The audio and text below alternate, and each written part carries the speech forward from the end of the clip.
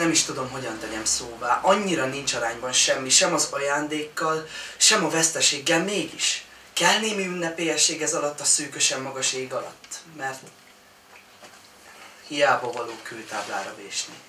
David Marcel lett az idei mészői szavaló verseny győztese a költő Szemlet című művének részletével.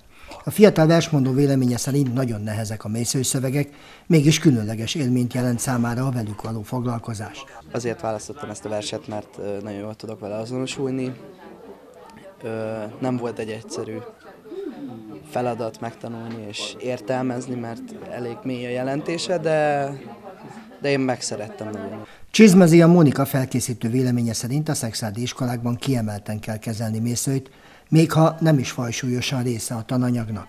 Évek óta járunk erre a, a szemlére, mondhatnám így, vagy megemlékező találkozóra, és azért tartom ezt nagyon fontosnak, hogy a diákjaink találkozzanak mész szövegekkel, mert így tudjuk talán a kincseinket, a hagyományainkat ápolni.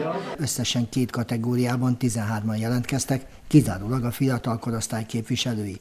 A zsűli véleménye szerint nagyon hiányoznak a fiatal felnőttek a versenyekről, hiszen mészői alkotásainak értelmezése a meséken kívül nem a kisiskolásoknak való.